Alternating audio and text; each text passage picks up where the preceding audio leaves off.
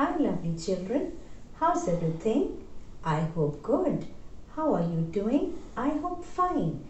Today we are going to do sentences of the egg word family. Remember last time we had done the words from the egg word family?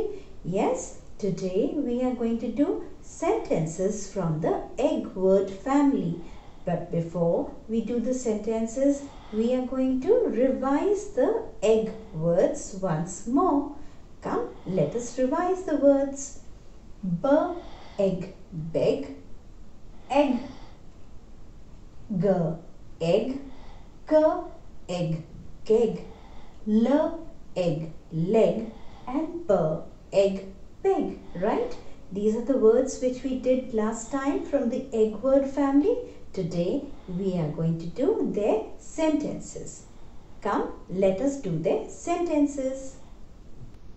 I beg you to give me a bun. I beg you to give me a bun. I beg you to give me a bun. Yes, मैं आपको plead करता हूँ, मैं आपको please बोलता हूँ कि आप मुझे बन दे दो ना। ममा प्लीज़ मुझे बन दे दो। I ate an egg I ate an egg I ate an egg yes मैंने एक अंडा खाया। मैंने ब्रेकफास्ट में एक अंडा खाया एग खाया। This is a keg. This is a keg. This is a keg.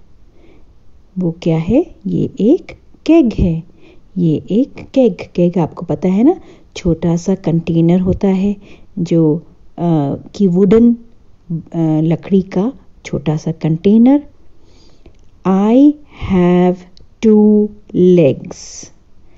I have two legs. I have two legs. मेरे दो पैर हैं. Meg has a peg. Meg has a peg. Meg has a peg. Meg के पास एक peg है। Peg क्या होता है? जिससे मम्मी कपड़े पे लगाती है ताकि वो कपड़े हमारे क्लोथ्स जो हैं वो हवा में उड़ ना जाए। The egg is in the pan the egg is in the pan the egg is in the pan yes अंडा कहाँ पे है? अंडा पैन में है। मम्मा डालती है ना फ्राइंग पैन में उसको बनाने के लिए। Right I run with my legs I run with my legs I run with my legs yes मैं कैसे भागता हूँ? मैं अपने पैरों से भागता हूँ। Right right? हम सब अपने पैरों से भागते हैं ना? Right? So okay children let's revise the sentences once more. I beg you to give me a bun. I ate an egg. This is a keg. I have two legs. Meg has a peg.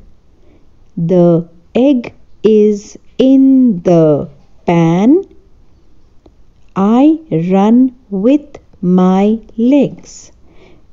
Children, you will write all these sentences in your English notebook and try to do their illustrations and color them and post them to your ma'am, right?